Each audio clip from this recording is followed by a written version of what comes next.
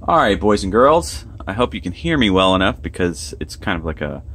I'm, I'm trying a new setup. See, we, we have a. Uh, we have like basically a boom camera type thing going on. Let's see. You know. So we're. Like, I can move it with my hand a little bit, but it's not so bad.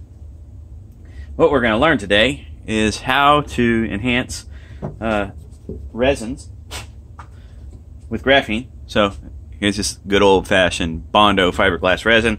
It's a 3M product. Dow, DuPont, everybody makes this stuff. It's uh, pretty run of the mill garbage.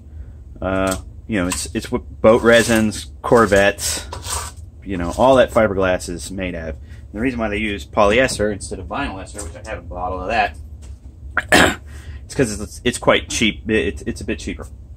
So that's one. Um, but who cares about that? Let's just get on with it. So what we're gonna do, put this cup on here, set it up. Oh, let's put some gloves on just so that uh, every time you work with resin, you want to use gloves. And the reason why is because shit gets on everything.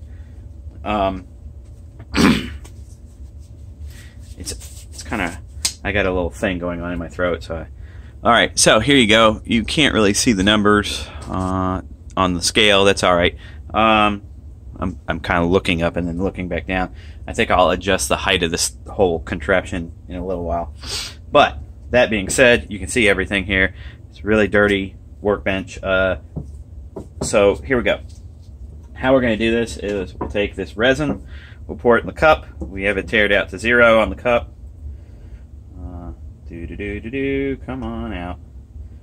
we'll get something like uh, I think 20 grams will do it. Okay, so what gonna do? Okay, so we got 20.72. what we'll do is do a uh, one We'll add one percent graphene to it, so that'll make it uh, that makes the math easier. So instead, of, it says 20.71. So basically, or 72 right there. So what'll happen is we'll we'll add 0.2 uh, grams of graphene to this. So it'd be 20.92 uh, just you know that last little decimal point doesn't really matter. Now, one of the keys when you're dealing with resin is uh, the reason why I have this little jar here. You can't see it, but this is easy to go into one of the drying furnaces or ovens, uh, so that you can dry it out. You don't want any moisture into your resin. Um, that causes curing issues. It's it just sucks. Any kind of solvent. Remember this, and that's that's another thing. If you're dealing with epoxies, uh, polyester, vinyl ester, or liquid castable acrylic. If you try to use a solvent to, to thin it out, it gives you garbage response. It, it's not as good. Um, it makes it a lot weaker. So, adding a little water in there would also do so. And also it interrupts the curing process. So we'll get to that. Okay, so we gotta get 0.2 grams. We're doing a 1% mixture. So 0.2 grams, so it'd be 20.9 actually it was up to 7.3 so let's see what we got here. Tap tap tap. That's not enough. It's uh, half of what we are trying to do. Actually you know what? You want to do a half percent? That, that's a good number as well. Do do do do do do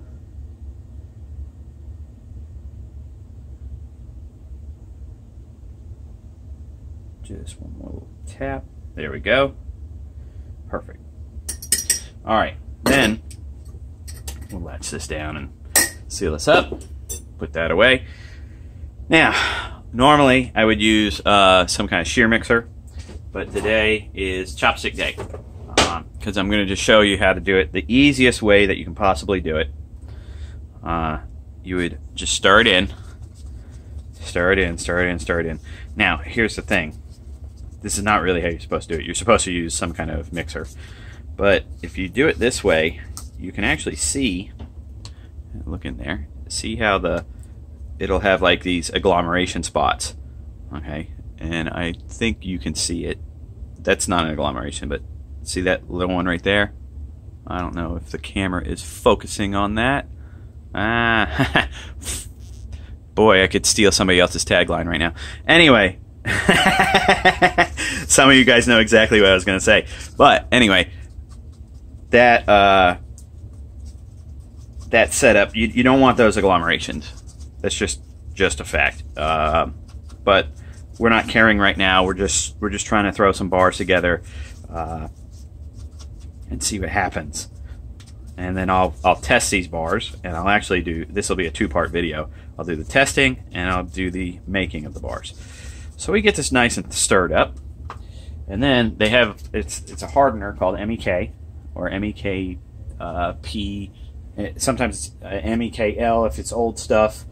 Um, and what I mean by that is old fashioned. And that MEK is not necessarily the nicest stuff in the whole world. There's a certain ratio. Follow your directions on your resins. This one right here, for this to this, it's like 1.25% by weight.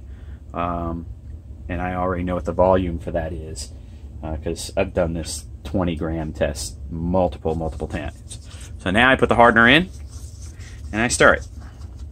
Just like I stirred the graphene in. Do, do, do, do, do, do, do. Stir it for about 20 seconds, maybe not even. Um, here's the only thing with this with graphene is that it makes the material cure a lot faster, sometimes double in speed.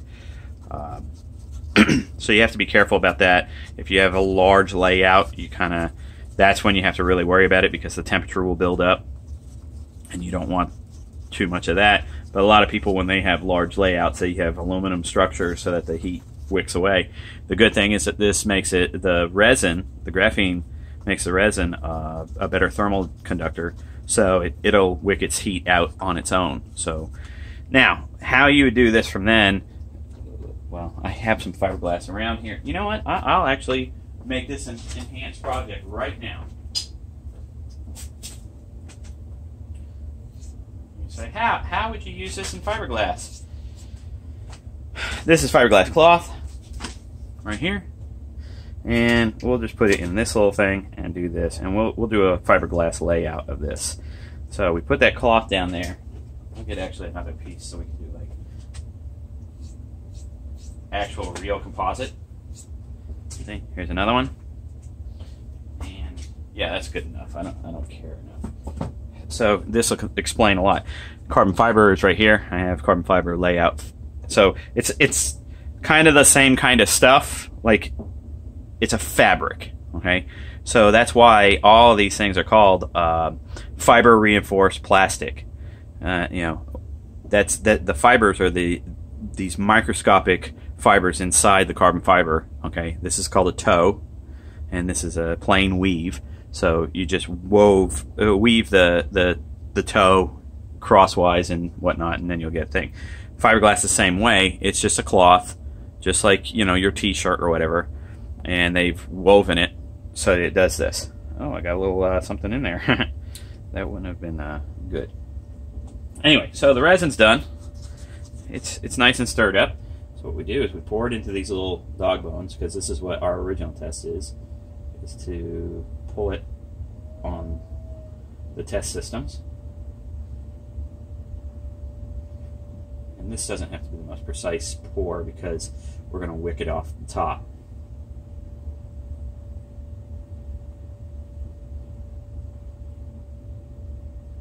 Alright. That part. And then this part here, if you were going to do a fiberglass thing, this is not how a lot of guys would do it. They'd be like, what the hell are you doing? Because they would have a paintbrush and they would be brushing it on and all that horse shit. But we're just trying to pour out our excess and, you know, see how it goes. So, here we go. Move this back. Now I'm just going to do that to get rid of all that. And then with the fiberglass here, same thing. I'm to put this in there. Uh, not a professional fiberglass layer. Uh, and then you put the other layer on there, and then you get all the air bubbles out, and you make it, you know, nice and even um, when you when you're trying to make a part. And you can see it's kind of wetting out right now decently. That's one of the advantages with the graphene in the material is it it lowers the viscosity of the resin a little bit and it makes it wet out really nice. I mean, it actually is wetting out pretty nice right now. Uh, I haven't even done anything. I'm, you know, literally I did it the shittiest way that you could possibly do it, and it, it's actually coming out fairly nice. On this end, uh, yeah, the bars are good. And then, after that, ta-da, you just wait. You wait, it gets hard, um, and I'll finish the video. After it gets hard, you pull it out of the mold, um, and that's it. That's that's all it is. Then you have your part.